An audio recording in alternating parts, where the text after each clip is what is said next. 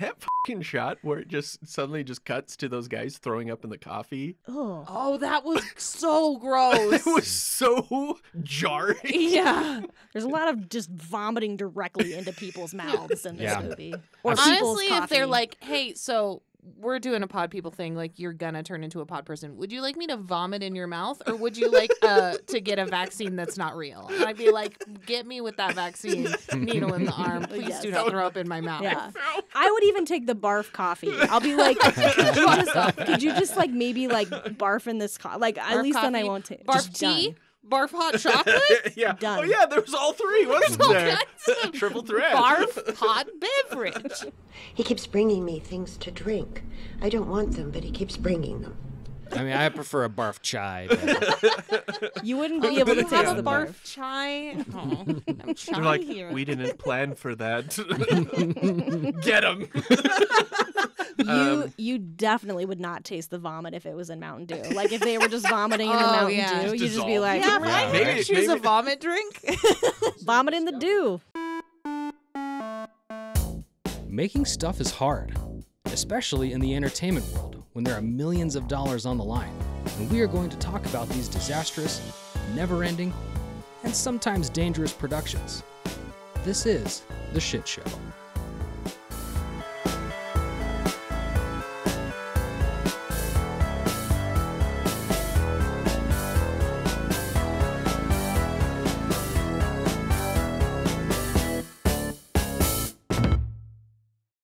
Trick or treat, friends. Hmm. It's Halloween. My name is Ian. I am your human host for It Was a Shit Show. Joined by my good friend Clint, Hello. my loving wife Ray, Hello. and today's guest, Sequoia from But Make It Scary. Hello. Trick!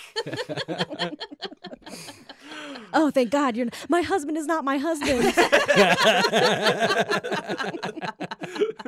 I couldn't decide whether to be a be a person who had been taken over or a person who was pretending to, to be your. yeah. Ah. I have to do this podcast with these non humans and I have to act like no emotion. I have no emotions. Well, Sequoia, welcome back. Uh, I figured since you were our first guest ever um, Yes. for a Halloween episode, and your whole podcast is about making other movies into horror movies, um, we should make this like a tradition. I love it. I love it because I love this show. Thank you. So I love being here. So, what we're going to be talking about today is uh, The Body Snatchers. It was a magazine series um, from 1954, later adapted into a novel in 1955, written by Jack Finney. It has been adapted into four films. Uh, the Invasion of the Body Snatchers, 1956. The Invasion of the Body Snatchers remake in 1978. The Body Snatchers, 1993, and The Invasion, 2007. Now, spoilers for all four endings of these films, by the way. I had everyone watch the 2007 version with Nicole Kidman, but I also gave everyone an extra credit. In keeping with the theme of these movies, I thought I'd make you all question reality by giving you each a different film to watch. Oh.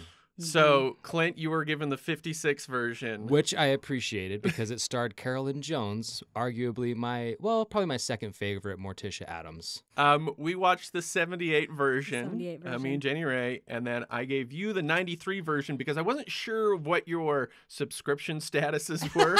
and that movie is entirely on YouTube.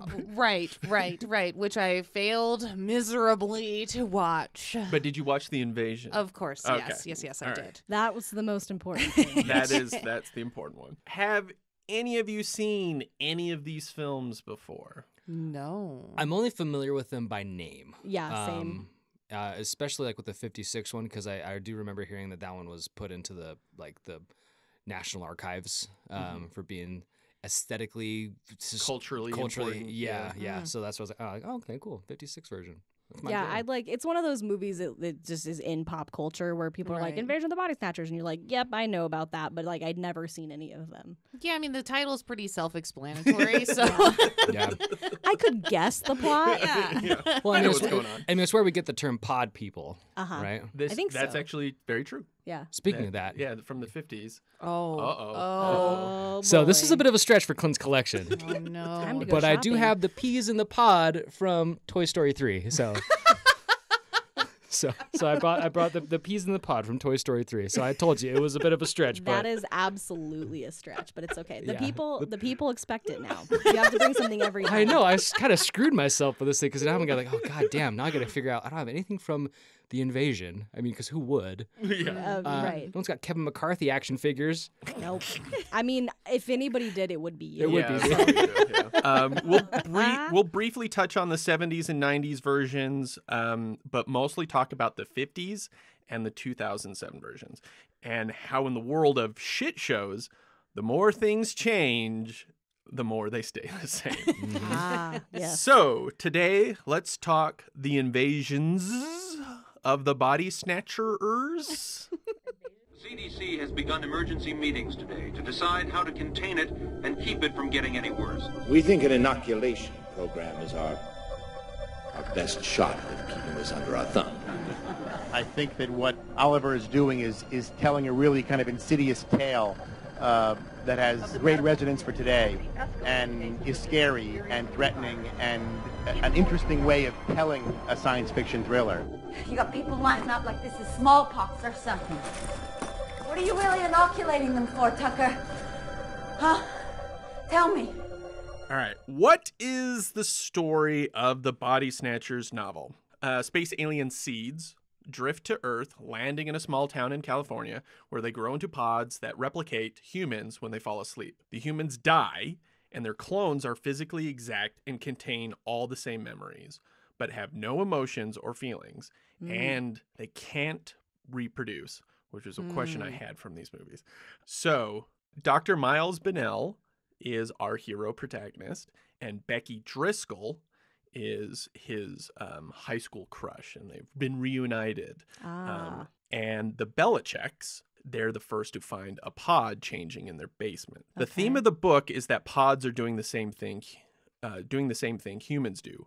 Move to a location, eradicate its indig- indigenous population, and strip all of its resources. Of course, Right. of course. Yeah. Yes. That's Uh, pretty apropos. To We're the real virus, you uh, guys. yeah. Humanity. I know in the, in the 50s, right? Yeah. Yeah. I mean, So the book ends with the aliens giving up fighting the human race and leaving Earth willingly. So they're just like, this is more trouble than it's worth or something. Uh, and they're just tracks, yeah. and they're just like, screw it. And so not just only are humans stubborn when it comes to us invading each other, Mm-hmm. but we're also stubborn when others come and invade us. They're like, oh Jesus Christ, these people. That's literally not Forget, worth it. forget this. Terraforming my ass. Um, so the first film, The Invasion of the Body Snatchers in 1956, is roughly That that, same plot. Yeah. right? Um, director Don Siegel and producer Walter Wagner initially came up with a budget for the film of how much? I'm gonna say two hundred and forty-two thousand. Well, yeah. I mean, if you consider inflation, I'm gonna say, I'm gonna say thirty thousand dollars. Thirty thousand dollars. Thirty. I don't know. That's That seems like not enough, but yeah. that's 50s money. Uh, yeah. I'm gonna say seventy-five thousand dollars. Wow. So Seventy-five thousand and one dollar. yeah. Um, Bob. Clint wins without going over. Ooh. Uh, four hundred fifty-four thousand eight hundred and sixty-four dollars. And That is- twenty-seven cents. That is. I love that I have these exact Yeah.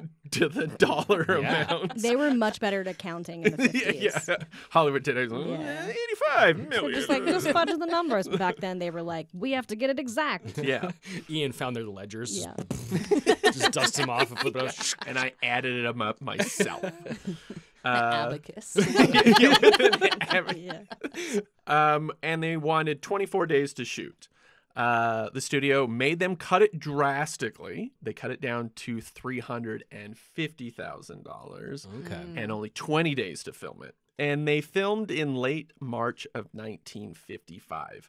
Um, this was originally titled The Body Snatchers after the novel, but the producers worried about the similarity to a 1945 film by the name of The Body Snatcher.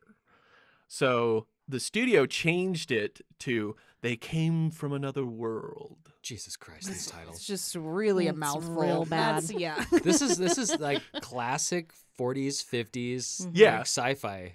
It's just It like came the- from another world. Just so generically sentenced. Yeah. yeah. Yeah, the title is like takes up the entire screen when they put the title card up, and then some guy's like, "And they came from another world." It's like spooky that's the fonts. voiceover. Yeah. Yeah, like dripping. yeah. Um, Siegel and Wagner hated this and suggested some other titles, including Evil in the Night, World in Danger, my favorite, Better Off Dead. Oh my whoa. god. Oh my! How amazing would that have been? Those pod people are running around Better asking for their dead. two Two dollars, dollars. Yeah, $2. two Oh, my two dollars. dollars. If you've not seen Better Off Dead with John Cusack, do it. That It's actually a incredible. remake It's of a remake. the Body Snatchers Yeah. from the fifties. So there you go.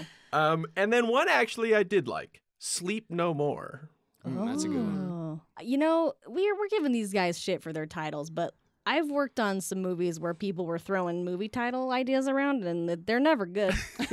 Well, the the ones be- you pass on, there's a reason you pass on them. They're Right. usually shit. So like back then, like there wasn't that many movies, right? They had so many options. so many options Yeah. and that's why it's so they could be that they were so generic because they could just do whatever they want like today it's like what's been used Yeah, you have to get so goddamn specific because Yeah. you're like, ah, shit, there was a movie from 1932 that was called that. yeah anyway so they eventually settled on the invasion of the body snatchers um, allied artists the studio holds test screenings in the summer of 1955 um, the climax has Bennell hiding out with Driscoll, sharing their first kiss, then him investigating something only to return to find that she fell asleep and is changed.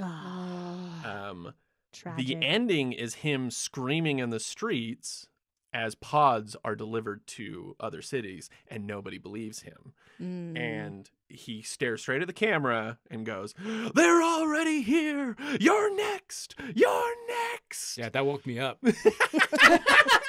He's like, "Ugh, ugh, I'm next. you, Clint could be a pod person. and That's, Yeah, have he no fell idea. asleep. That's Oh, all right. You fell shit. asleep. yeah. I don't know. I'm showing a Okay, lot of everybody, emotion right now. everybody keep a close eye on Uh, him. do you want me to play this emotionless for the rest of the show? I mean, no. Because that will be a challenge.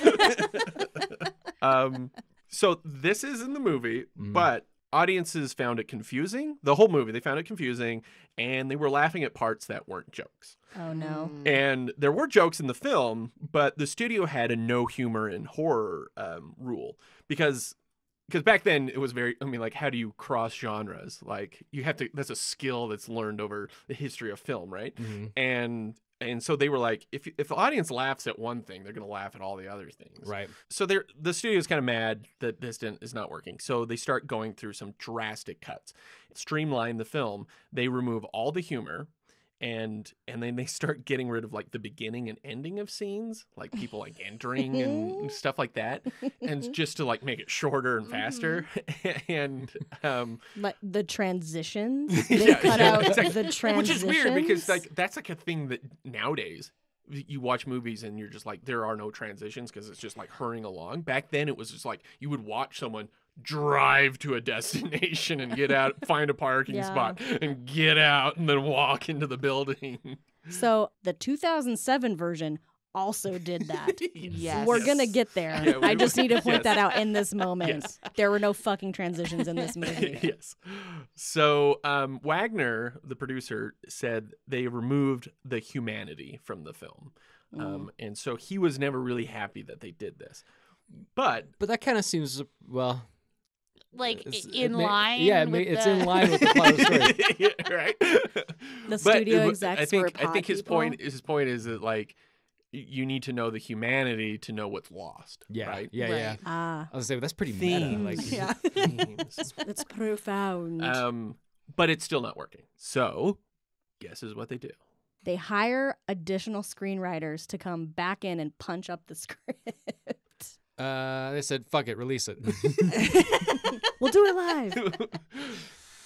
Uh, they dubbed over all the dialogue. Ooh, that's it. That, that would totally happen back then. They might have done all three or some combination of all three. Um, but yes, reshoots. Um, but at the time, this is referred to as taking the film out. It's like we need to take the film out and do some Air more. it out a little yeah, bit. dust it off. Hit it with Yeah. a with a, hit it with, With a a rack. rag, Yeah. this film's dusty. Um, so Wagner convinced Siegel, director uh, Don Siegel, and screenwriter Daniel Mainwaring um, to return. Um, and they were kind of hell, like uh, whatever. and so they make a framing device that starts the movie and ends the movie. And it starts with Bennell being um, in a hospital saying, "This all this shit has happened. Oh my gosh, you guys, it's all scary." And then so he tells the story of the movie, and then it ends with him in the streets screaming, "They're here! They're here!" Nobody believes him, and that's how it's supposed to end. But in the in the official version, um, then it goes, and then it goes, and that's what happened. I know you guys think I'm crazy, and then nobody believes him, or they're like, "Ugh, this guy," and then like a car crashes, or, or there, there's a phone call about a car crashing that had was full of pods. Yeah. And then they were like, he's telling the truth. Call the FBI. That's actually how the movie ends. Uh, so if you wa- watch it today, that's w- the way it works. and it Um, actually has the Yeah, it's- wipe in it's it literally like a- the like that- dream wipe. yeah, the dream wipe thing. Oh, terrible.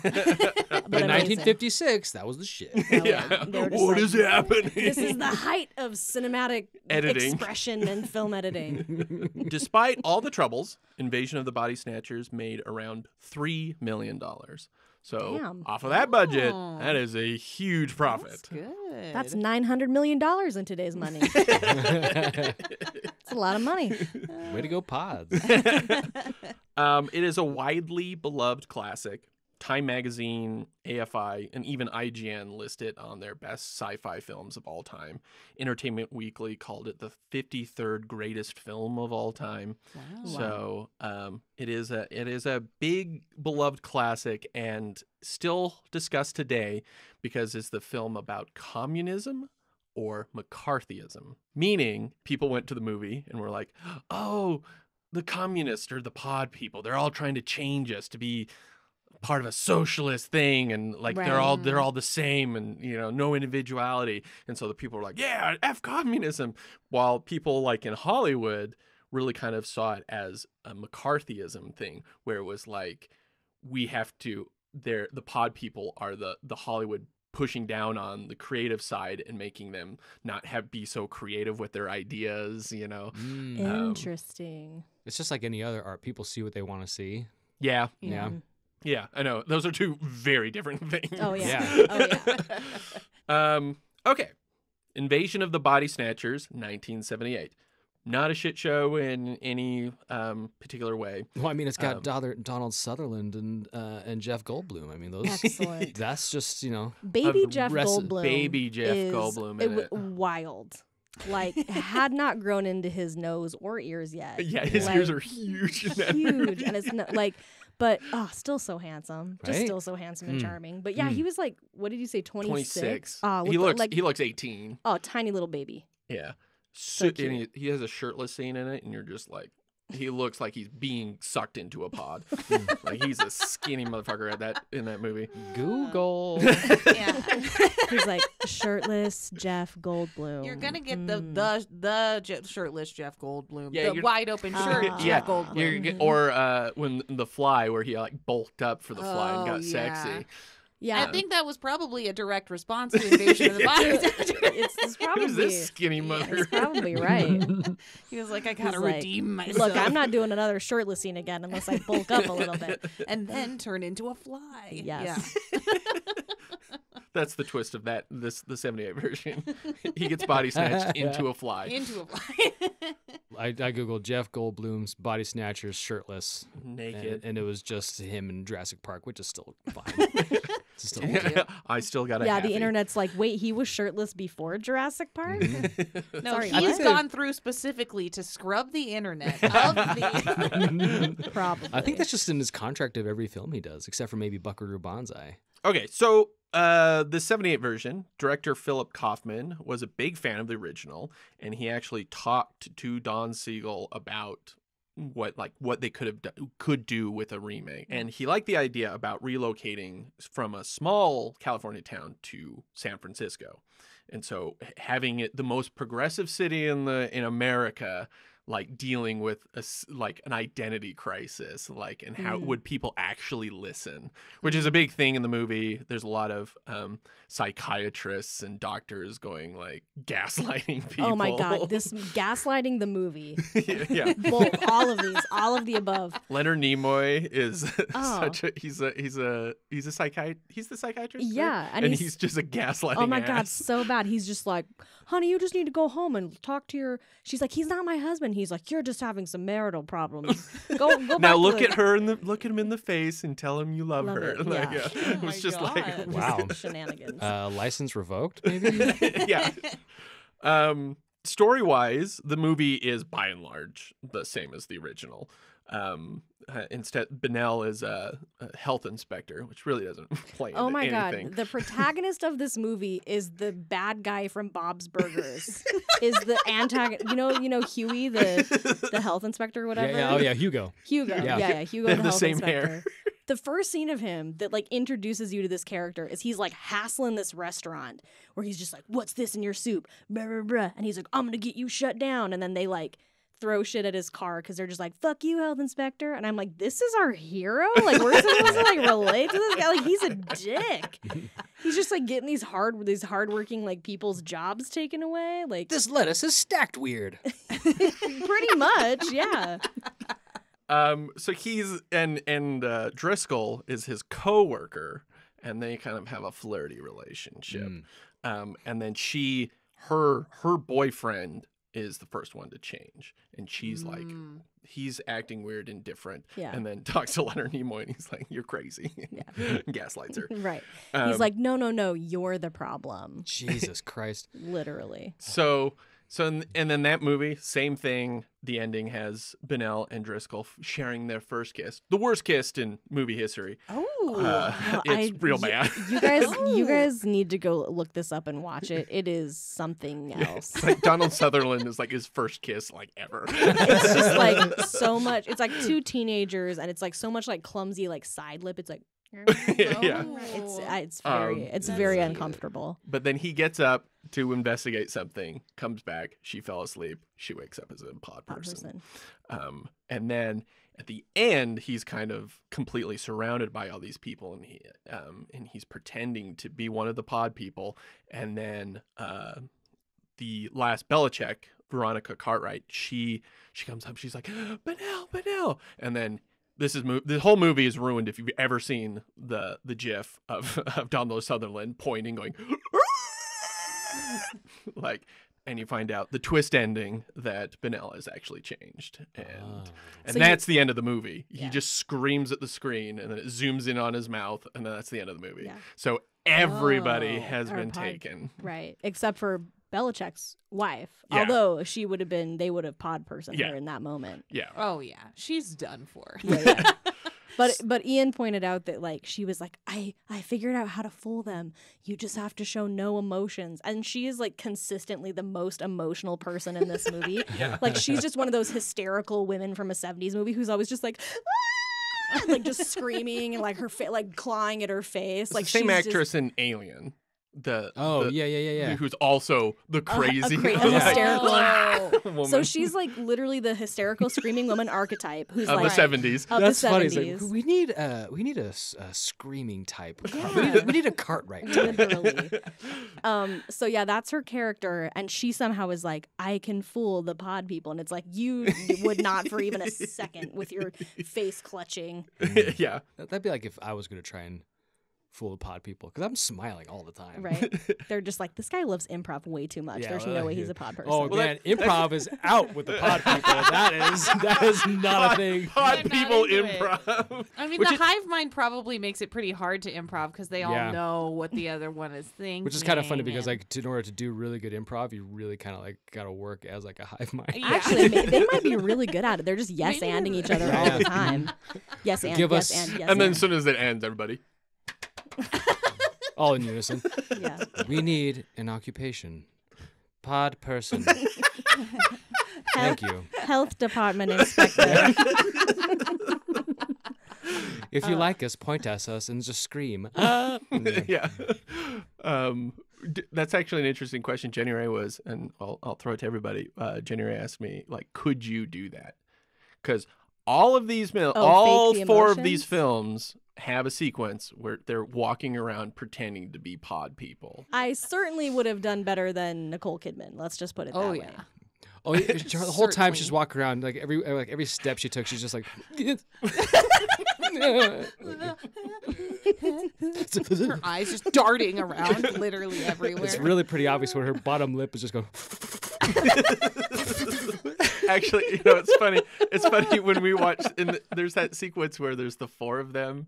Okay, for listeners, we're jumping to the invasion, but the uh, the there's the sequence where the four of them are walking around, and Daniel Craig is in the front, and he has just all the swagger of Daniel Of Craig, Daniel Craig. and you're like, that is not how a pod person no. walks. no. He looks like such like a badass, just like yeah.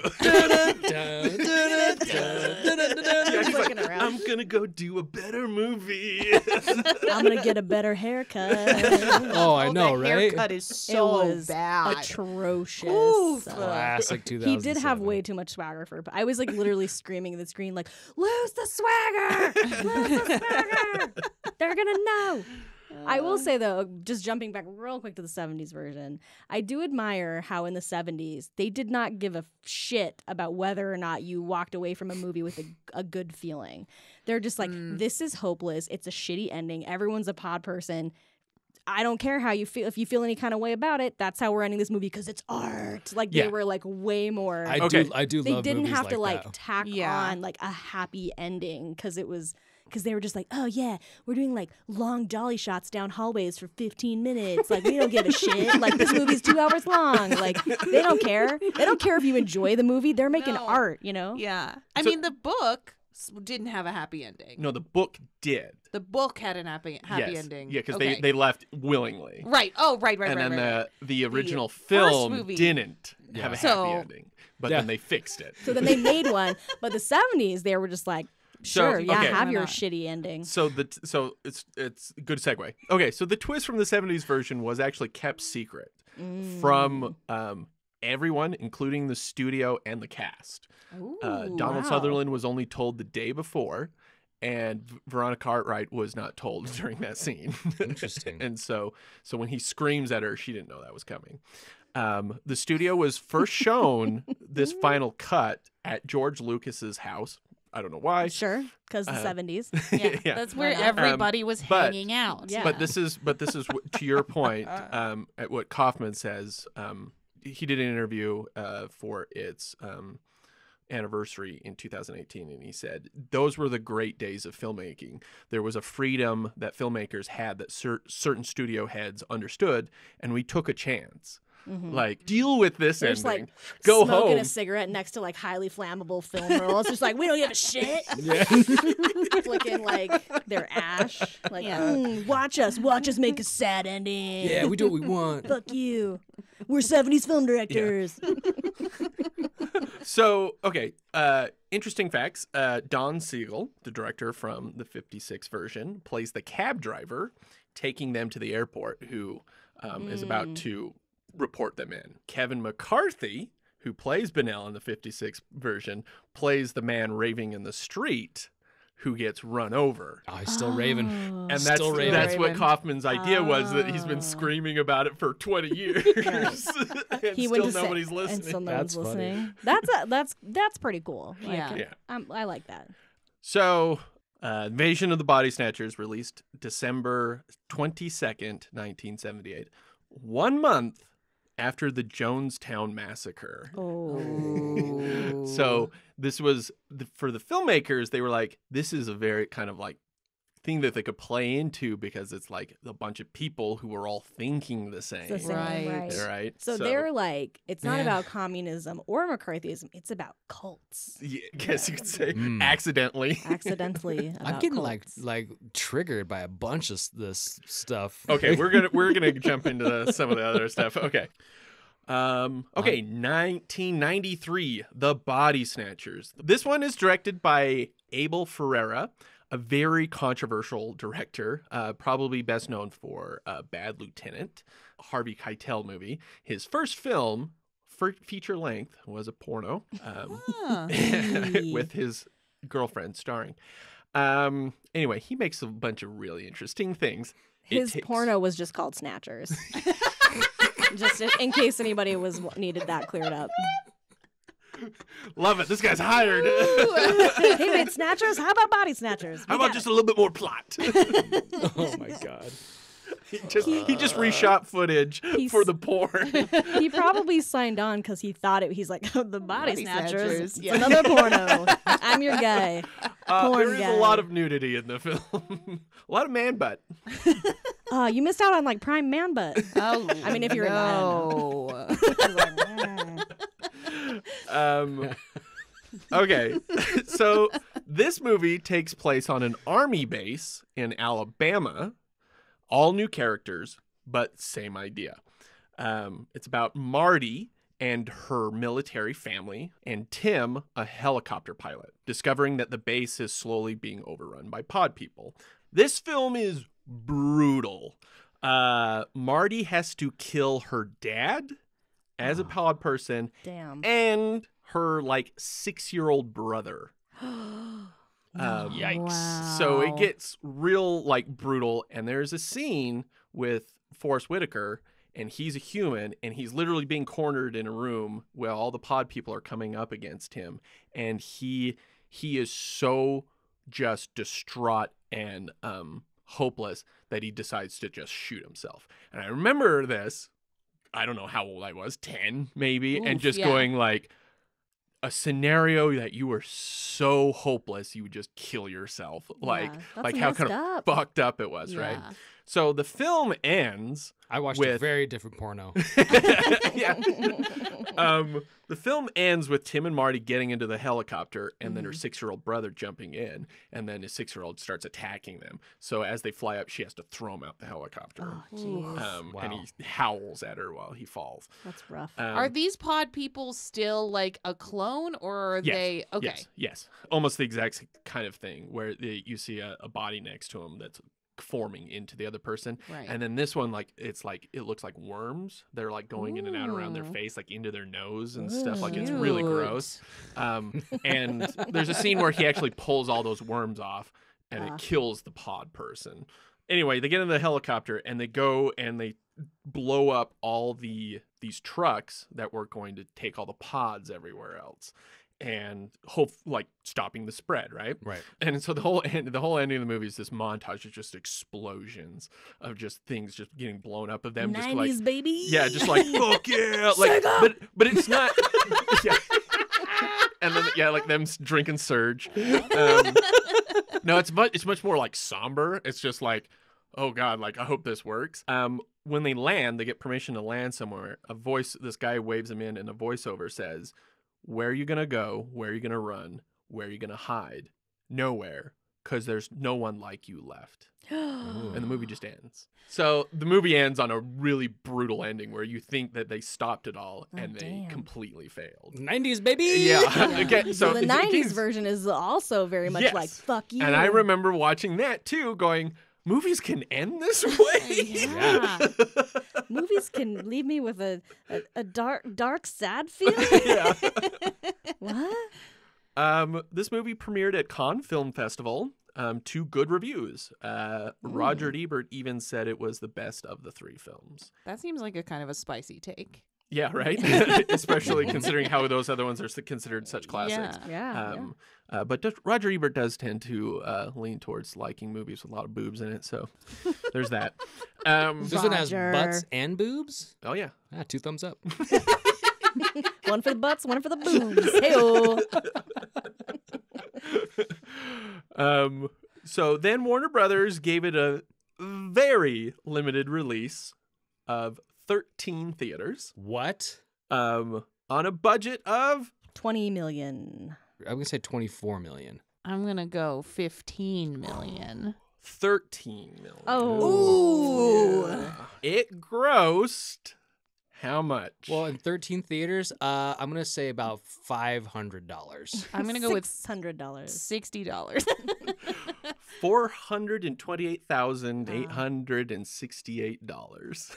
Wow. Does it? Why co- did they okay, do that? I don't, I don't, know the inner workings of studios and sh- shit like that, but what is the point of spending all this money on a movie and then just release it in 13 theaters? Like that's almost like setting it up to fail. Because does it? Nobody co- knows. Does it cost them to put it in the yes. theater?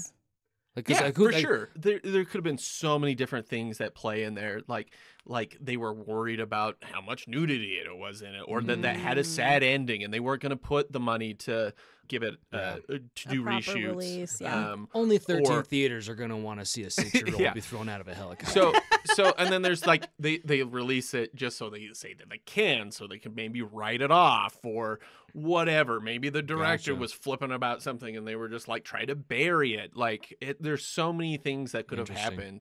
So rotten tomatoes 70% with critics 39% with the audience. Okay. Now the invasion 2007 in 2004, Warner Brothers bought a script from screenwriter David Kajganich.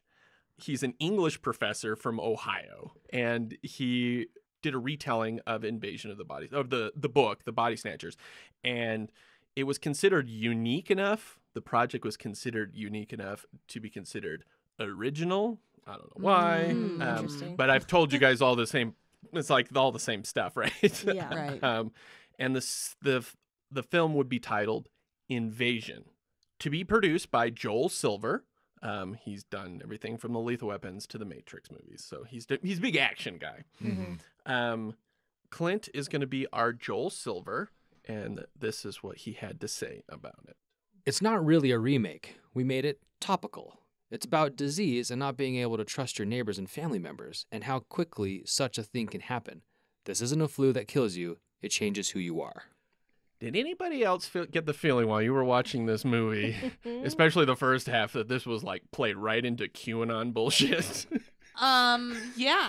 yeah. Abs- Yeah. Oh, absolutely. the the vaccine. Don't worry, we're getting the vaccine out there. That the pod people are Mhm. saying, and it was just like, oh shit, this is Yeah. this is weird. right.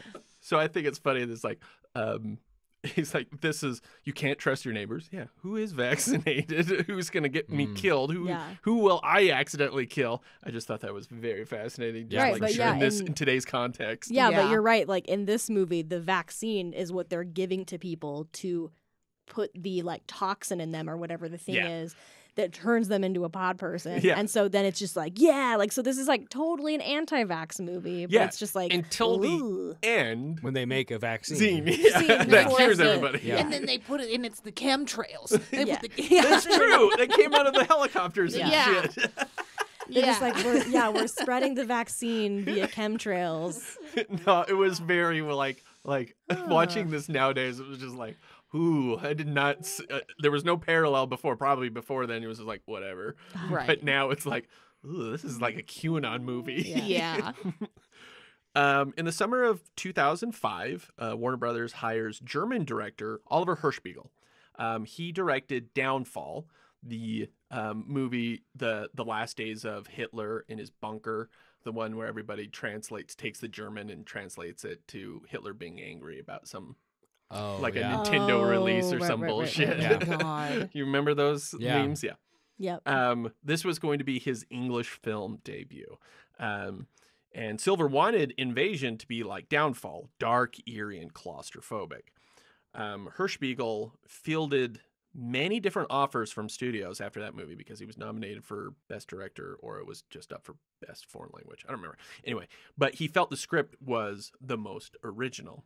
All right, Jenny Ray, you are going to be our Hirschspiegel, Okay, should I do my German accent? if you will, if you oh, like. Oh, please do. I just, I just really don't want to offend any of our German listeners out there. They're gonna be like, oh, this again, this again. this again. You think they're still listening after the last Yeah. time? That's true. They're probably not. I can do whatever I want. Ah, ah, ah. um, this premise is a metaphor for historical events and even a metaphor for what is happening in this country right now.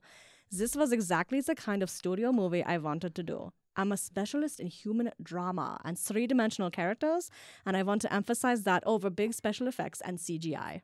So does that sound a little like the movie that you watched? No. No, no, it does not. All right. The the script by Kajganich had created a big buzz around Hollywood, and people were like describing it as this deeply scary, deeply meaningful exploitation of the nature of fear. It wasn't flashy. It wasn't a spectacle. It was an old Hollywood type movie. Mm. Um, He wanted to do those long dolly shots and smoke cigarettes. Yeah, all the room. exactly. Yeah, Right. He was like, "This Um, is a '70s movie in 2007." Yeah. I'm like, but what if instead we just had the scientists give like big chunks of es- Exposition. exposition every once in a while? Oh my God. Freaking Jeffrey Wright it just just dumps just like three scenes of him just going, "Hey guys, this is what's going on. All right, all right." By the way, I, I- d- I did all these graphics for the blood cells. Yeah. yeah. Yeah, I was, yeah. He's like, I'm a VFX artist on the side.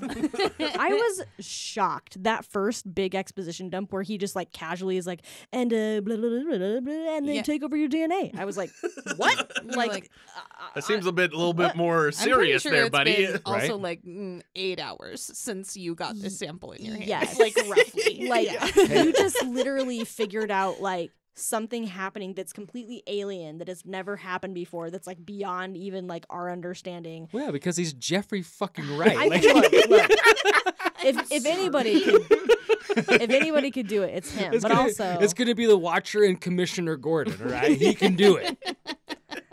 he seems throughout the movie just He's un- he- unafraid. he's yeah, he's, uh, he's unfazed. unfazed. Yeah, Yeah. that- perfect. Like he's like when they go to the house and like they, there's a whole the guy like was, runs around in the alien body. He was just like, huh, he's like hands in his pockets. Like, yeah, don't touch him. I was, I was driving surprised around- he wasn't a pod person because he's not showing any. that would have been a of really emotion. good yeah. twist Well, even when they're driving around and the car goes on fire and he's in the helicopter and he's like, "Oh shit," but he's still just like, "Oh shit." yeah. yeah Turn Get- right. Turn yeah, right turn- now. yeah, get to the roof. well, okay. W- w- uh, hold off on the Jeffrey Wright thing. Um, so Nicole Kidman liked this script, this original script, this this script that we're talking about, so much that she ditched another project she was on to do this movie. Oh, Do we know what project that was? Or Um, it was uh, the Brave one, and it ended up being with Jodie Foster. Mm. Um, this is Hirschspiegel on why he wanted Nicole Kidman. Nicole was at the top of my list. I kind of explained what I had in mind, and she liked it. Usually in classic horror or suspense, you have a woman who is vulnerable and they always cry or yell.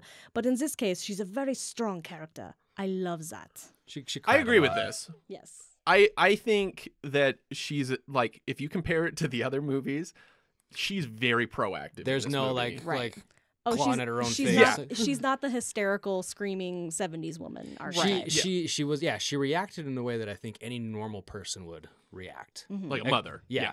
except mm-hmm. when she dropped the gun. Yeah, yeah. Oh my god. Mm-hmm. That was a twice. moment. Um. So, but that that I think that is very true because like in the '70s version, it's just shit's just kind of happening happening to them, and they're just kind of running away. And it's kind of the same in the '50s version, right? But the, yeah, I like that she's actually trying to do something, and there's actually like some stakes into it. Yeah, but Um, significantly less boobs. That's very true. Uh, speaking of boobs, Daniel Craig. Um, just kidding. Yes. well, before um, he was hired before being cast as James Bond. So uh, filming of this took place in September of 2005. 2005. He was cast, officially announced in October 14th, 2005. He that's when he was announced as James Bond and he did that big publicity stunt, the big press reveal where he was like on a on a, a boat and they brought him across the river and then like I he came out and he that. had long hair. He had the the shitty oh, hair Oh, from terrible hair. From this movie oh. and he had a much slimmer frame and he was really kind of grump and he didn't know how to deal with reporters and and so people were like freaking out I like, he remember was- that. yeah That's yeah. You told that story where people were like, "This is James Bond," and it's like, "Cause he came off of, he just came off of this movie." Look, everybody who was mad about that, middle go watch this movie and you'll Yeah. understand yeah, Yeah. yeah. what we're talking about Yeah. here. i mean you, you watch this movie and you go like he's always been a great actor you can tell Yeah. like um not it's just it's just funny that that that is the connection while he was doing this movie that's why he kind of looked a little weird with the shitty haircut in um in his big press release jeffrey wright this This is such a paycheck job. He signed on because they were filming in his grandma's neighborhood, so his kids could just stay there. That's awesome. Save on childcare costs. I love Yeah. it. That's the best reason I've ever heard for taking any kind of job, film job. Yes. and he's just just the screenplay right from him. Okay, the blood cells get inside of you, and then blah blah blah, and it changes your DNA. Check, please. gonna call my mom. How are the kids doing? Good. All right. yeah. so, in this film, uh, a NASA shuttle explodes on reentry, covered in alien DNA. Um, if you get it, this in your blood, when you fall asleep, your DNA changes you into a pod person.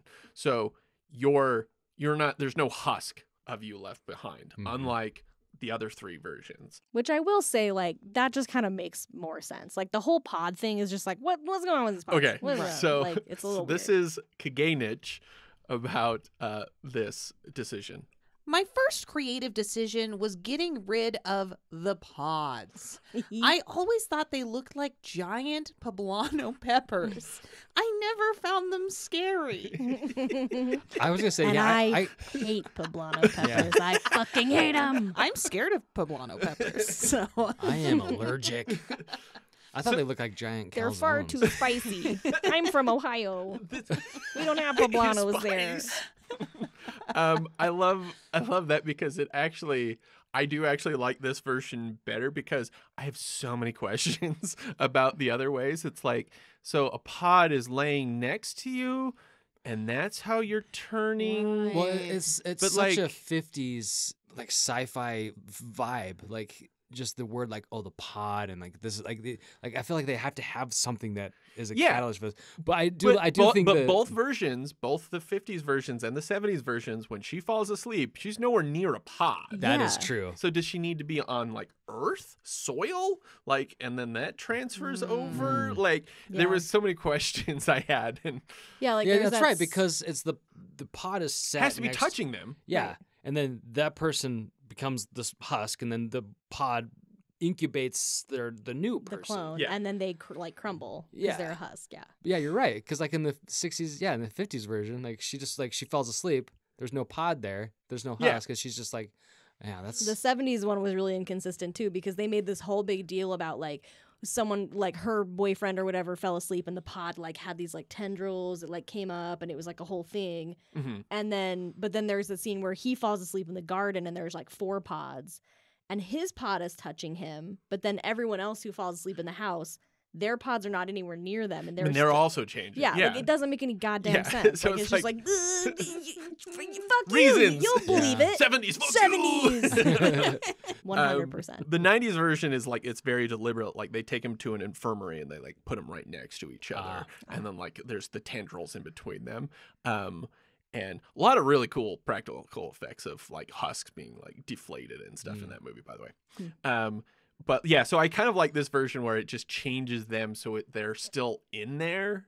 Um, and then you don't have to deal with yeah that kind of question The of like logistics. yeah, Pod logistics. and then like the the '70s version, they keep alluding to trash trucks come by, and then you just see a bunch of like it looks like just chunks of lint yeah. being thrown into it, and you, you don't know what it is for a good portion of the film, and then you find out that's the the the the original husk. Oh, yeah. Um, It's, But it's so, the so like they were very good about covering up their husks and but I don't know. Anyway, so I like this idea of It's it just being compost. yeah. Yeah.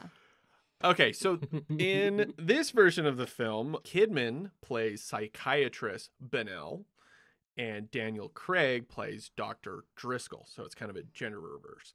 Um, and they are dating, and then Bennell has a son, Oliver. They're who may- not dating. They're not dating. oh, that's right. They're, They're best, best friends, and friends. That she is won't weird. date him because That's they're right. best friends. This is Sequoia's area. I'm sorry. I'm here for the romance. Let me tell you about it. that was very confusing. You're right. You're right. Because in the dinner, the dinner, they're like, she's like, they're like, oh, you guys should get You married. should have kids, and then like they kiss after dinner, and she's like, "No, I can't." like a really like impa- like again comparison to the 70 version mm. really good passionate way, kiss way better. Much, much better. I was awake for that part. Yeah, but she did. She did the the stereotypical dumb like thing of just like, no, I don't want to lose you as a friend. We can't be in a relationship. And Oh, you're just you like, got- but there's Friend, literally yeah. there's literally nothing stopping you. yeah Not they like a damn made out thing. hardcore and then like he got friend zoned So hard, hard. hardest friend zone I've ever seen. Um, But those like those fake obstacles that like people put up in like romantic comedies or Yeah. romance movies, were just like no, and it's all just completely artificial. Yeah. yeah because i don't yeah what what service does that like what's the point of having that Drama. Yeah, I don't Drama. know. Yeah, so then you can have her scream, I love you down an alleyway later in the movie, and it's more impactful. Yeah, yeah. Yeah, yeah, yeah. Well, Hirschbiegel wanted three dimensional characters. Yeah. yeah. Mhm. So and then um Bennell's son oliver may hold the cure for the pandemic so it's like a completely kind of different evolved idea from the original Oliver, that's the director's name.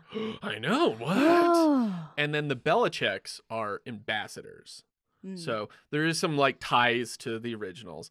Um, Veronica Cartwright, the sole survivor from the 78 version, plays Bennell's patient who first says her husband isn't the same person.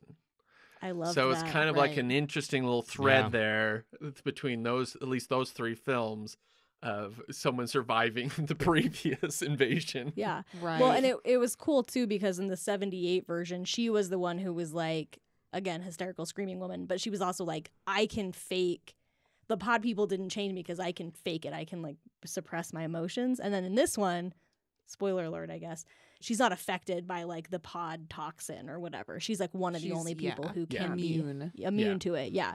So uh, that's also a cool tie-in where she was kind of immune in the 70s version and then she's immune in this version too. So you got to give him a little bit of credit Yeah. here. Um, filming begins in September of 2005 with a budget of 50 million, filmed for 45 days. And I thought this was a fun little quote from Kajganich. It wasn't a little while back that I was still living in Ohio. Suddenly, I'm on a film set with Nicole Kidman saying lines that I've written. Astounding! The most frustrating part is that I don't know who to thank. It's like I owe the whole world a debt. It feels like a karmic trespass. I just said, really Oh my dramatic. goodness. I, just, I My think that's just kind of a cute little Yeah. quote. I mean, it is adorable. I just, I just picture him like stepping off of a bus with his little suitcase, Hollywood, and he just like spins around, and then like a You, musical you, you look starts. like you're invading with your pods. Yeah. you body snatcher, you. Hey, Write us you, a film. English professor. We're looking for an English professor to write this movie. My stars, Ohio. Where's the Hollywood sign? yeah. Um, Hirschbiegel enjoyed making this low tech thriller, a film without big action sequences, choosing it choosing to make it all about the people on the ground. Uh, during a press conference just before filming, Joel Silver stressed that there would not be any green screen on set, nor actors on wires, which is you know a big thing that he was a part of. Um, like ninety percent of what he does. This Yeah. is Silver. It's not what I'm accustomed to, but this is what Oliver wanted. There aren't a lot of visual effects, it's about people. The script originally had much more elaborate snatcher transformations. He wants it simple. Don't say snatcher transformations. That's also a porno. Don't. I've seen that one. Don't watch it. Again, this sound like the movie you guys watched. No. No. Okay. It No, it had real shit like digital weird s- snatcher Uh-huh. transformations. Okay. Kidman loved being able to play an action hero. Um, so much so she got a little into it. And while filming a particular scene, I think it's the scene where she, uh, her ex-husband like tackles her. Mm. Um, she was like really Oh. into it. Right before he Vomits vomits, in her into her mouth. Mouth. You mean? What a cute That- time. That fucking shot where it just suddenly just cuts to those guys throwing up in the coffee. Oh. oh, that was so gross. It was so jarring. yeah. For the listeners, the the primary way that this specific pod person situation is spread is through like fluids, like bodily fluids. fluid transfer. There's a lot of just vomiting directly into people's mouths in this Yeah. movie. Or people's Honestly, if they're like, hey, so we're doing a pod people thing, like you're gonna turn into a pod person. Would you like me to vomit in your mouth, or would you like uh to get a vaccine that's not real? And I'd be like, get me with that vaccine, needle in the arm. Please Yes. do not throw up in my mouth. Yeah. I would even take the barf coffee. I'll be like, could you just, could you just like maybe like barf in this co- like at Barf least then I won't take barf tea, done. Barf hot chocolate, yeah. Oh yeah, there was all three, wasn't all there? kinds of Triple threat. barf hot beverage. I mean, I prefer a barf chai. But You wouldn't Oh, be able to taste have a barf. barf chai. Oh, I'm chai They're like, here. we didn't plan for that. Get him. You Um, you definitely would not taste the vomit if it was in Mountain Dew. Like if they were just vomiting in the Oh, Mountain yeah. Dew, Just you'd just be like, yeah, if I Yeah. maybe, Maybe- choose a vomit drink. vomit in the dew. Uh, anyway, she gets tackled in the scene and she was kind of like enjoying it. And then, like, she went home and discovered she was just covered in bruises. Oh, no. And- but she was just loving it. Um, in October, they changed the title to The Visiting. no, that sounds like an M Night Shyamalan. I was movie. just Get going to here. say the same Get fucking out thing. of here. Oh, Get out of here with that so, nonsense. The so this was Visiting? because ABC was about to debut their new alien invasion drama, Invasion. Uh, Mm. And the visiting was just rumored to be a placeholder for the time being, not final, because it sounded. Uh, they were also worried about that title because it sounded like a sequel to The Others, the Nicole, Nicole Kidman Kidman, ghost right. movie. yes, I love that movie. that's, Uh, such a, a good that's a good one. So, filming ends in December of 2005 with a release date of August 2006. Hirschbiegel puts together an edit. Warner Brothers screens it for test audiences. Doesn't go well. Mm. Mm. So they sit on it. They decide they need to reshoot. They need to dust the film. just They need take to the have film to out. Take the film out, the yeah. film. Yeah. Air the film out. but why didn't audiences like it? Was just like they're like, ah, it's too German and like nuanced. I don't.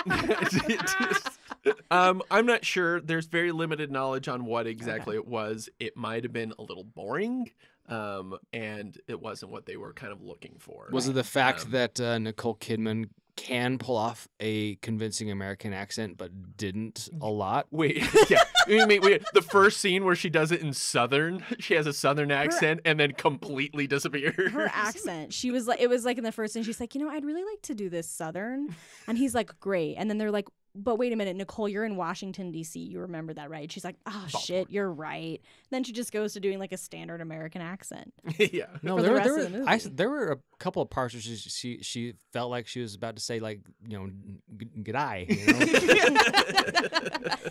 Accent all over the map. yeah.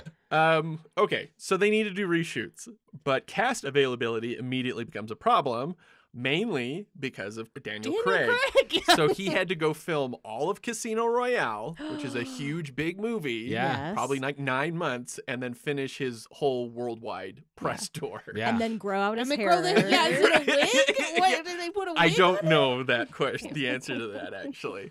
So in that time, they brought in an unlikely duo to write some scenes. A Um, duo.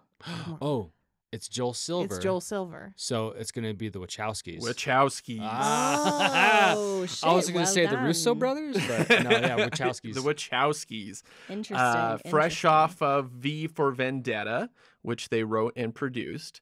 Um, they were in pre production on Speed Racer, and both films were with Warner Brothers and pr- producer Joel Silver. Guesses how much of the movie they rewrote? 85%. I'm gonna. I say, was gonna say eighty. I'm not gonna go as high. I'm gonna say thirty percent. Dead on. 30%. Oh, That is- it was first from I mean, I don't think. Look, look. James whoa. Bond theme become Clint's theme song. Yes. It's been done. It's been done. You can't on a banjo. Anytime I get anything right, ding, ding, ding, ding, ding. yeah. just do the picking. James Banjo. The name's Banjo. James Banjo. I got a license to pick. Ding, ding, ding, ding, ding.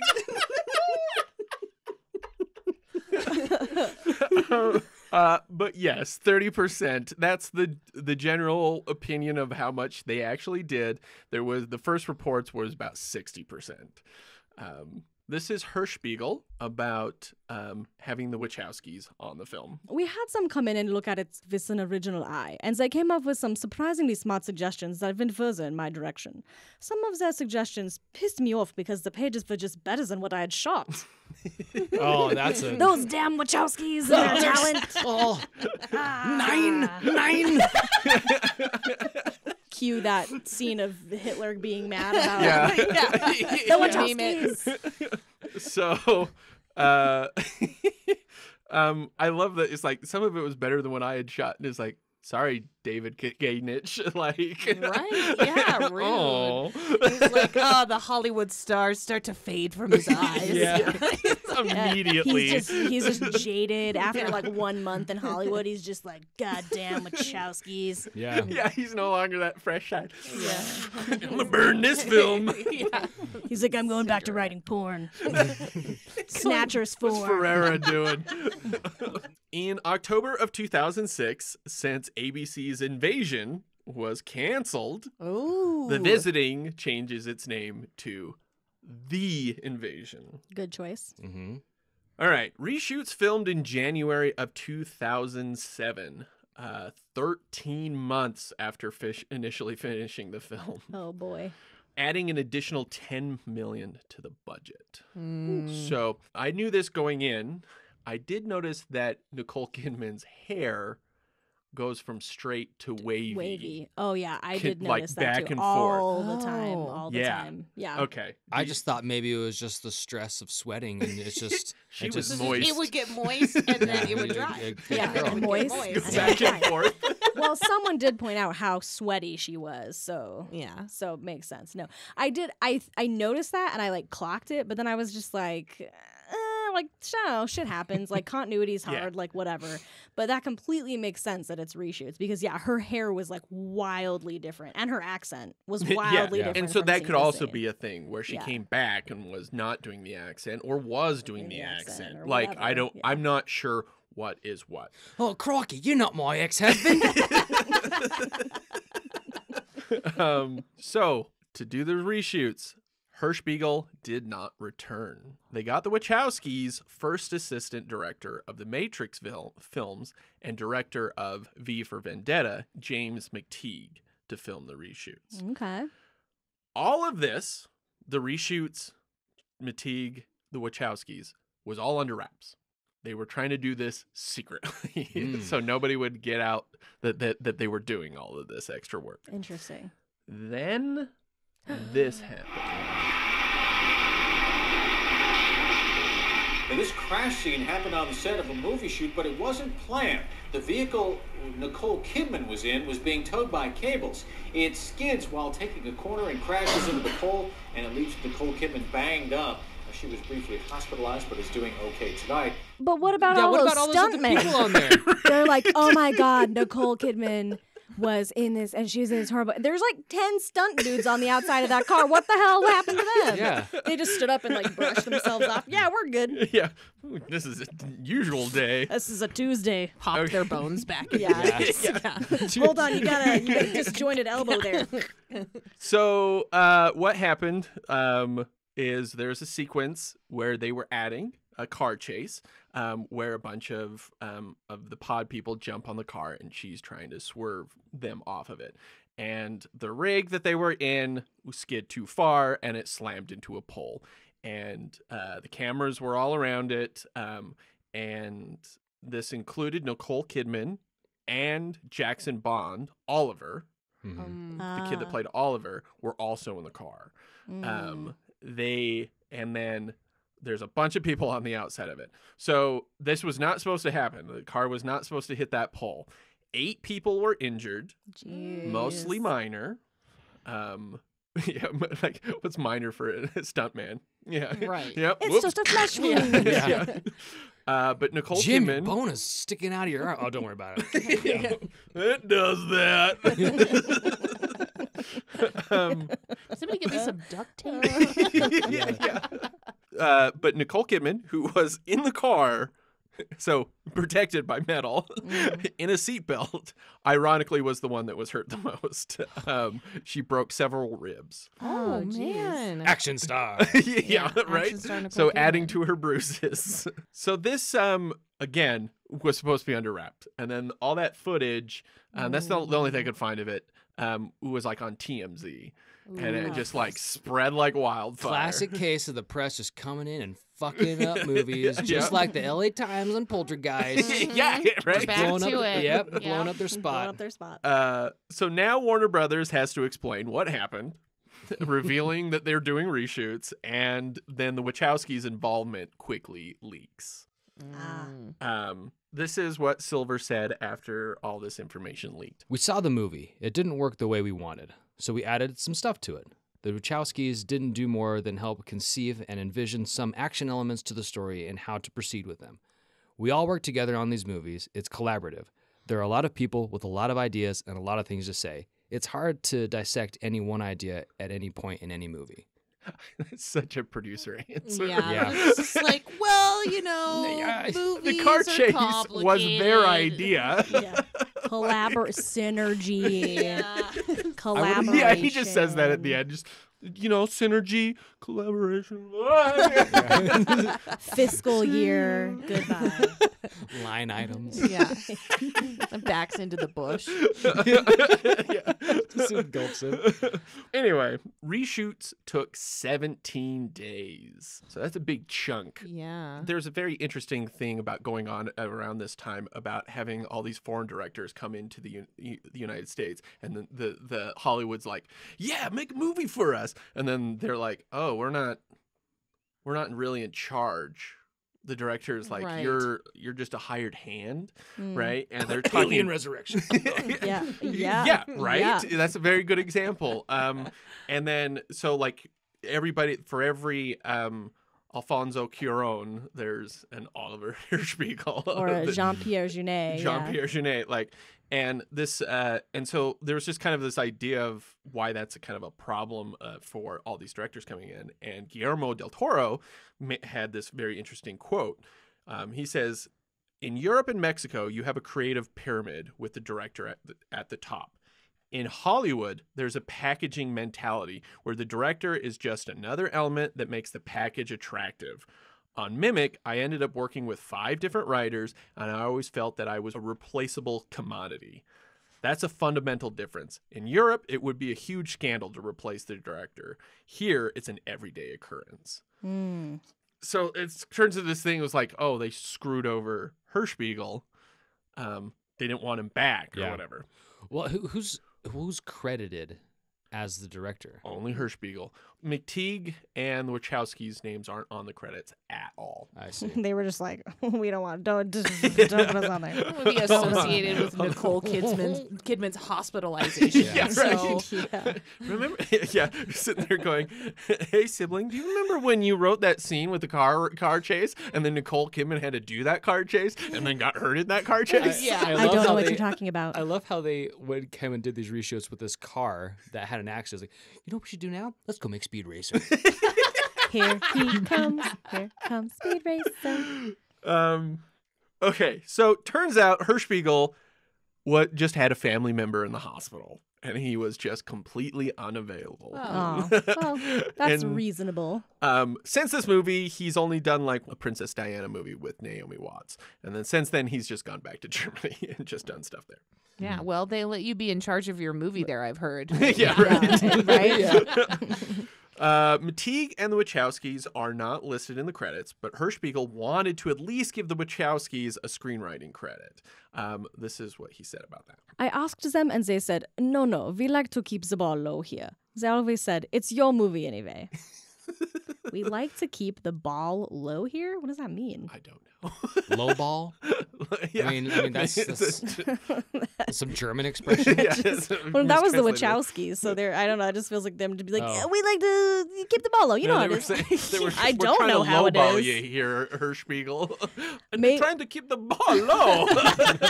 yeah, wait, maybe he misunderstood. Maybe they're like, "You're lowballing us, Hirschbiegel," and he's like, "They like to keep the ball low. We don't have to credit them. It's fine." And, and then they're secretly they're like, "That motherfucker didn't even credit us." but I did like the idea of of uh, it's your movie anyway. Like let it be. Interesting. Um, I Yeah, thought that that's- that's kind of nice. Yeah. That is that's also very uncommon because usually people are like fist fighting for like credits. Yeah, Give me exactly. credit. Yeah. So, Entertainment Weekly alludes. So, via all this information, they allude to the Wachowskis being the ones responsible for the editing and Ah. and ma- mention that they changed the ending. I can't find any information about what exactly was changed or or But if they that's actually true. But they didn't direct, so how would they have been responsible for the editing? I don't know. That's why I'm saying like they alluded to it because they were saying Hmm. like they're they're big known for their big flashy action sequences Right. and this movie is fucking jarring. Oh my God. Like the editing is suddenly like where she's suddenly having a flashback and then then it like comes back and you're like, wait a minute, how much time has passed? And you're just like confused. Was that scene the day before, or was it earlier that day, or what, did it happen after? What's Yeah. There was sometimes where I was like, did that even happen? Or is it happening inside of her head? I literally can't yeah. tell. yeah. earlier when I said this movie also just had all the transitions cut out, like was not kidding. There are no like it's just like and now she's in the house and now she's 10 miles down the road and you're just like how did she get 10 miles down the road? Her husband is now a pod Ugh. person and now he he's already wants custody of the kid. Wait, time has passed? Pass? Yeah. Right. Like- How much Mm, time? yeah. yeah, uh, it's just like so confusing and then there is um a rumor unconfirmed that the movie was edited down from rated r and that sequence where she's shooting people is fucking weird That was weird because like it's it's, like all it's blurry. like blurry and yeah. it was kind of slow Oh, and in then the like you don't see anybody in get the shot pharmacy. yes Yeah. Yeah. yeah so i'm Hmm. not sure if that's true but okay Interesting. so Interesting. uh, I just realized that this movie also starts with the way that the first one did, where you know, well, I mean, the first one's like "Uh, he's in the psychiatrist, then it goes to a flashback. Then the whole movie plays out as a flashback. The same thing happens in this one. She's in the pharmacy, looking for Oh, and yeah. then- oh that's right Yeah. That's like right. completely unnecessary framing device. I agree. Yeah, but like good. but so that that it flashes back or we go back and we finally get to the beginning of the movie and then I was sitting there going has she already taken the pills? Has she already drank the Mountain Dew? Like that was the the problem with the editing because you were just constantly confused about what actually happened. Are we skipping over that part because we Yeah. already saw it at the beginning of the movie? Like, and then it was just constantly like that where it was just like, wait, what's what's well, happening? it was forcing you to think too hard about where you were in time instead of just being in the scene because Yeah. you were like anticipating stuff happening and expecting things to happen because you'd seen it happen before. Yeah. Or like that fucking moment where she's she gets out of the house and she starts running and she's in the full on suburbs and then immediately hard cut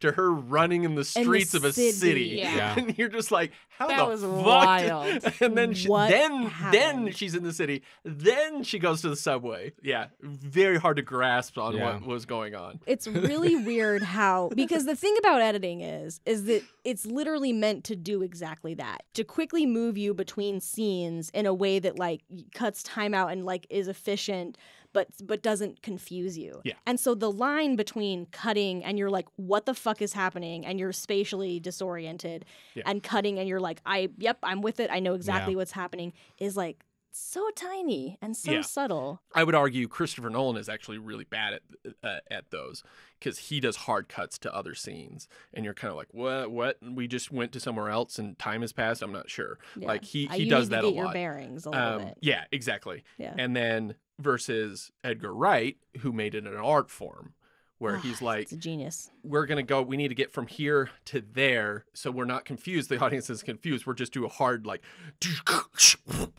and it's just a Montage. montage of them going somewhere, and it's like three seconds, and you just see a bunch of weird shit happen of them getting in a car, closing the doors, driving away, like, and it's all within like this crunch time frame but you know what's going on now Yeah. because it's condensing that information so it can move the story along Yeah. That's brilliant. Okay, so the ending that we've seen that we see in the movie has Bennell and her son Oliver reach a pharmacy alone. They wait till Driscoll shows up, who turned off screen. okay, sure. Fine. yeah, yeah, why not? Um, she shoots a bunch of people, goes through a car chase to get to the evacuation helicopter. hmm So, an unconfirmed source via Reddit um, says, sa- Yeah. yeah, I, yeah, says that they they were part of the original team, and the original ending had Bennell and Oliver reaching this pharmacy and finding a group of survivors who, after finding out that he might have the cure, uh, help her get to the helicopter. So they like work as a team to get her to Mm. the helicopter. Um, in the process, he and Oliver is knocked unconscious, and when they get on the helicopter, she can't wake him up. Movie ends. Damn. Oh. Bleak. Mm. So if Does that is she- to be believed, which kind of We need this person to come on the podcast and Yeah. confirm this. so I mean, you look at the pharmacy s- scene, and it is kind of insane. Like what's going on there? Like she's like, "Don't fall asleep. I can't fall asleep. Let me just walk away from my my boy and go sleep somewhere else." Like it, it was just kind of like this weird, weird. thing where you kind of feel like it was a mashing of two different movies, or that something was going on there where they're fixing holes Yeah. but I guess it still ends with the helicopter. But so that explains why the, the ending is so fucking just. Oh, by the way, and uh, Jeffrey Wright. Oh, we, we figured it out. Uh, we're all being vaccinated. Everybody's good. Uh, yeah, it seems chemtrails. just re- really quick. And like, done. Uh, done. Yeah. That he know, was man. though. He was the kinda wanted- exposition guy. He was like they were like, "Listen, this movie's running long. We need you to just just exposition dump in like 30 seconds or less." And he's like, "I got you. I'm a I'm a pro." Yeah. Yeah. Let me call my grandma real quick. every single every single let me make sure my kids are okay every single weird like science thing he was just just like oh, i'm gonna just eh. calmly explain this Yeah, he was Done. super calm. like Yeah. the most like calm. ju- i guess like and i guess like in a pandemic situation you want a super calm level-headed jeffrey wright type to be you know distributing vaccines but ah, we don't live in that world Fauci was unavailable. Yeah. so the, I kind of like the that ending a little bit better. So okay, this is interesting. This is what I was just about to ask. So there was reports that they added a twist ending, and maybe it still is. Is the new happy ending actually a better ending for society? I think that's what they were going for. Because that's what he says. You know, he's like, for better or for worse, we are human again. Yeah, right And, And then Craig says, like he's reading the newspaper, and like, how many people died in Baghdad? And Yeah. it was like, and she's going like, oh, maybe we shouldn't have done this. yeah, and then it kind of does like she like has a face and then there's like a slow like yeah, and then she on her remembers that thing that weird Russian guy said. Yeah. So I guess we could discuss is this a better ending than the other endings, which just hard leave you with, oh, everything's fucked. Well, it kind of it reminds me of uh, Peacemaker and how that ended. And He was just like, "Sure, you're here to like help us, but we're e- Earthlings. If we're gonna fuck it up, we're gonna fuck it up ourselves." yeah, yeah, I yeah. f- I, feel like that's it's kind of like got that same vibe.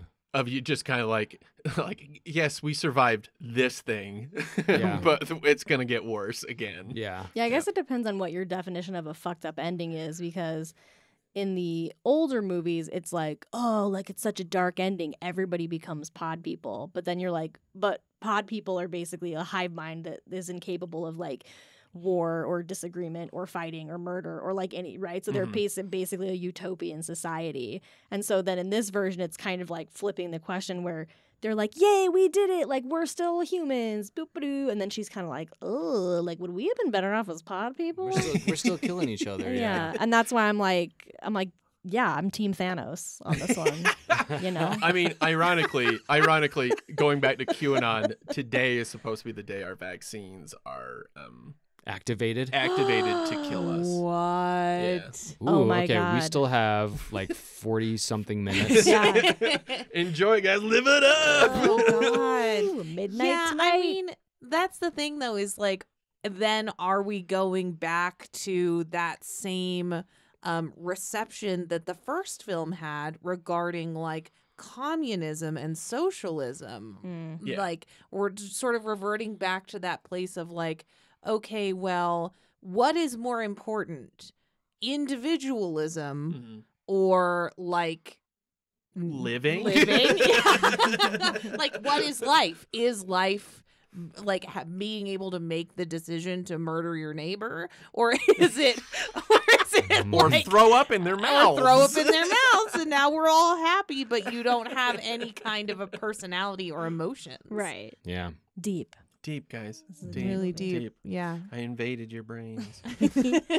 um, okay, so the invasion released August 17th, 2007, grossed 15 million off of a budget that was in between 40 and 70. it was yeah uh, like 65 is kind of the number um, Mm. so and it made it 40 million worldwide so a bomb Yeah. it opened fifth for the weekend under the first weekend of Superbad, which crushed it, and the Oh. fourth weekend of the Simpsons movie. Uh, Rotten Tomatoes, 20% with critics and 40% with audiences. Oh man, good eye. so here we are. Two films, the 50s and the 2000s version, two very different eras, separated by 50 years, who experienced the exact same problems. Right. Bad first cuts, title changes, reshoots, altered endings. Weird, right? the more things change, the more they stay the same. Yeah. That's wild. And is the invasion just a husk oh my of the original? Mm, yes, well. God I bet everybody listening didn't know that Ian's actually an English professor from Ohio. Yeah. These are the kinds of thought provoking this unconfirmed source uh, that knows the real ending. Real ending. I I went into this just researching the invasion, and then I just I was kind of like, oh, I'll just do some like just quick history on the other movies, Mm. and then discovered it was like, holy shit, this exact thing happened in the fifties. Yeah. That's Like, wild. yeah Um, was it worth it? Uh, the 56 one I really liked. yeah I I only After watched you the woke one. up and I enjoyed it I, more. I enjoyed the 56 one. I think all of the movies were great. Um, I'm gonna. I would say. I would say no, because again, I always kind of go back to the thing of like, this is the fourth time we've seen this movie, and there's not that much different, and it didn't really like add anything. It didn't like make anybody's career. Like obviously, Daniel Craig like then went and did Bond, which was like way bigger for him. It was just kind of a run of the mill like action remake of like three movies that came before it.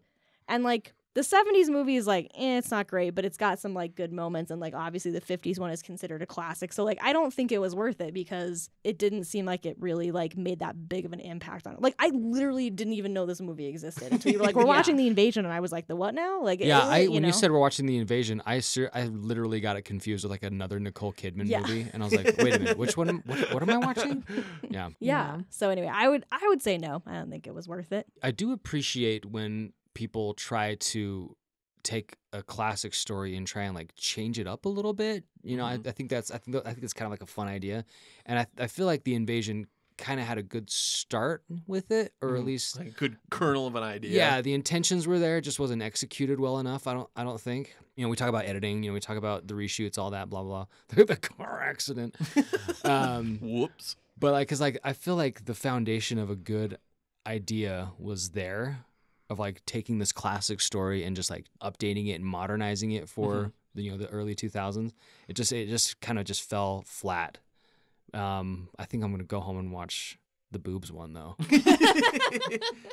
I'll, one I'll, was I'll say the 90s the it. 90s one is still like i was watching parts of it it is still uh there are parts that are quite effective like it's Yeah. it's not it's not bad I mean, I don't know. Like, it doesn't. Since this movie is the fourth iteration of the same movie, Uh, it, it's definitely not worth it. But what I want to know, what I would like to see, is the f- original cut of the movie because Hmm. I feel like a lot of the stuff that I hated about the movie is in that like editing and like the the action sequences are just like so disjointed from the rest of the movie and like I feel like maybe the original cut of the movie might have been better and or pretty good depending on how they like decided to wrap it up and if they gave us like something kind of new uh in that wrap up but I don't know. Yeah, that's an interesting point because he Mhm. was saying literally he went into the movie with a completely different intention, and then Hollywood was just like, "But explosions, like, uh?" Right. Yeah. and so it would, yeah, would have been interesting to see that original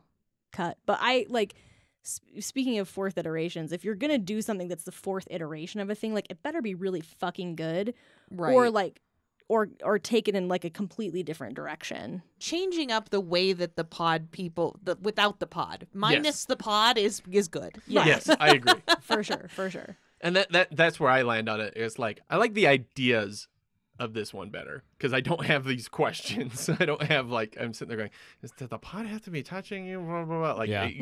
eradicating that was good, and I do like the idea of like you can save them, and there were stakes with the kid that actually kind of made a, a plot worth moving towards and something worth rooting for. Mhm. And I mean, the kid is actually surprisingly very like was- good in it. Like, yeah, he's kind I of like did a good job. he's useful. Um, He straight up did a Uma Thurman, like the breast, you know, getting the needle. yeah, that's the- right. Yeah. Yeah. like he was very involved. Um, Oh so I did like did like that kind of stuff. That scene, though, sorry, just for a second, where she ex- is explaining to her son, her like eight year old son or seven year old son, how to give her an adrenaline shot to the heart. I'm just like, oh, Yeah. oh boy. Like, dude, I don't trust a seven year old to fucking like tie their shoe correctly. Like, what? Like, he I mean, just you ran know. over there and was all, yeah. Oh yeah, Would- no. Would you trust your child to give you an adrenaline shot straight to the heart? Oh, Which no. which kid which kid is the closest to Oliver's Q, age? maybe. Q. Uh, well,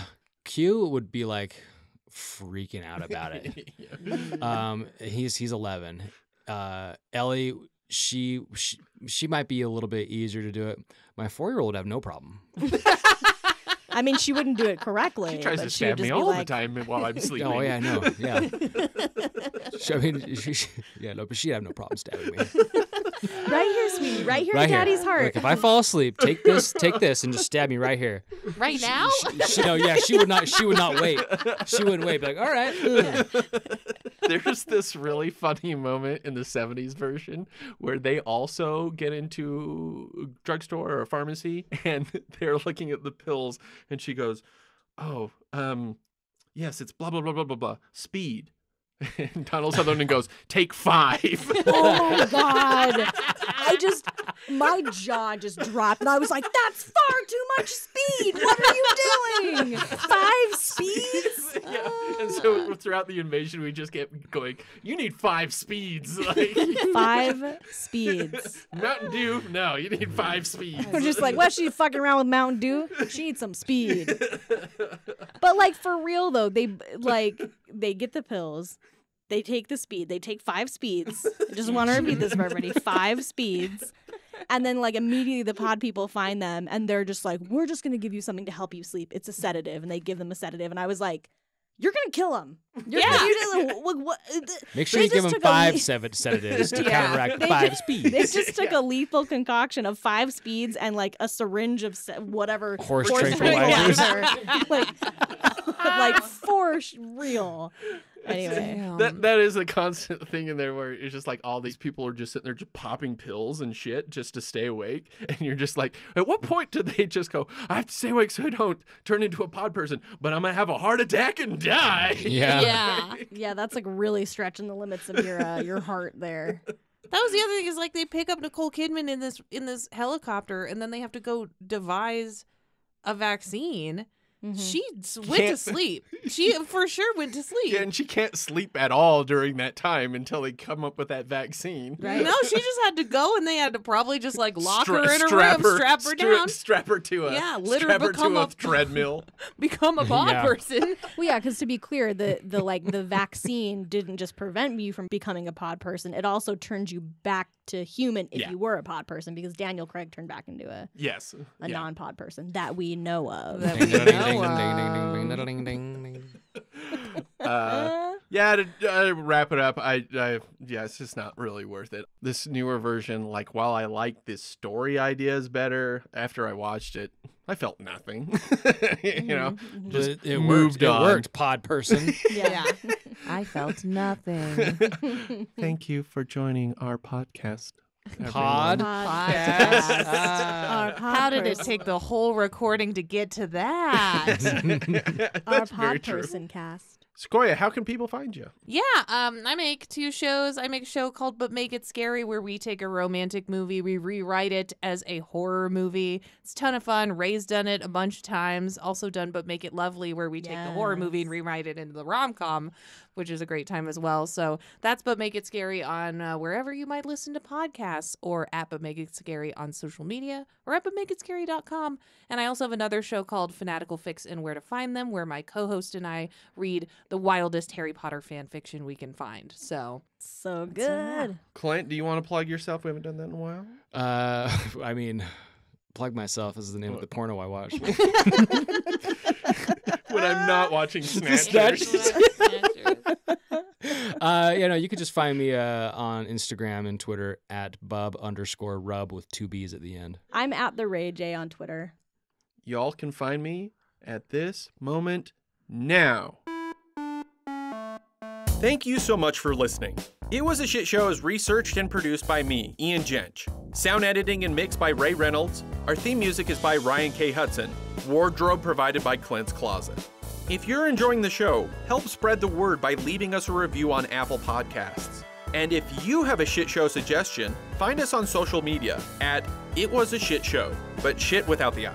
Or send us an email. You can also find all these episodes on our YouTube channel.